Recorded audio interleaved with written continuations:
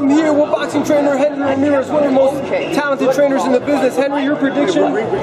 June 8, Marcos Maidana, Josesito Lopez? Uh, obviously, obviously, I, am very confident Josesito. I think it's going to be a hell of a fight. It's one of these fights where you're going to have to see both guys go through hell to win, and uh, I believe my guy's going to end up pulling it out. We're here, Team Josesito Lopez, Josesito against Maidana. We're at the press conference. Henry, what do you think about the fight? Oh, man, it's a great fight. You know, it's a fight that fans are really excited about. Uh, two, two warriors like Maidana, Josesito, two guys that don't take a step back. Um, it's going to be a great fight. Mr. Thompson, I want to see the winner of this fight fight Floyd Mayweather. What do you think about that? I love it. I think he should. And, and it'll be Josesito Lopez fighting. That's the nice part.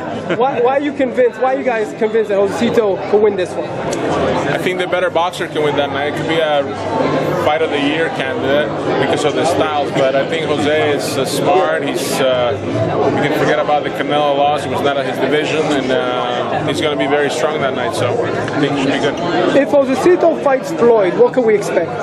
You can expect to see one fabulous fight and a new world champion. That's what you can expect to see. In that fight, you will have no need for judges because there'll be no time for counting. There'll be one winner, and he'll be standing with his hands raised in the center of the ring and that'll be Jose. What do you think about Marcos Maidana?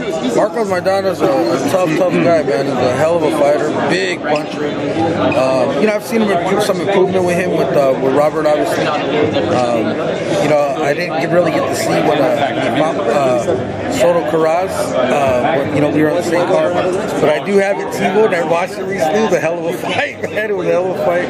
But you know, Maidana's a tough customer. He's tough as they come. Big puncher. You know, he, he, he himself himself has shown that willingness to get up. I think Victor dropped him what two or three times. I mean, he, he had to go through some uh, adversity himself. You know, pick himself up and, and won a, a shootout with Victor. And you know, his fight with Soto Karass was a hell of a fight. Also, so, yeah, we definitely got our work cut out for us. But you know, we're full confident. I know they're confident. You know, it's gonna be a great fight. Man. My last question: Manny Pacquiao, Brandon Rios. What do you think about it? Man, you know, that's a great fight. You know, you, you know, I was telling Robert when you guys came to the gym last week. It was nice to see, even though Brandon lost a tough close fight with, uh, with Mike Alvarado.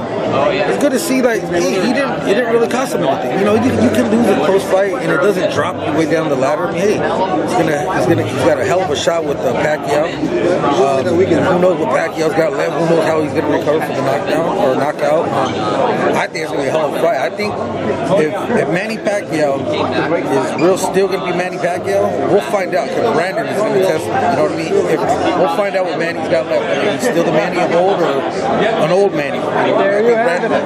Henry Ramirez, people want to follow you on Twitter. What's the Twitter? Uh, it's uh, the electric one. Why, are you an electrician when you're not by? Oh, man. Uh, I'm going to tell you the story. I got fucking tasered like five years ago, and stupid ass Chris Arreola gave me that nickname.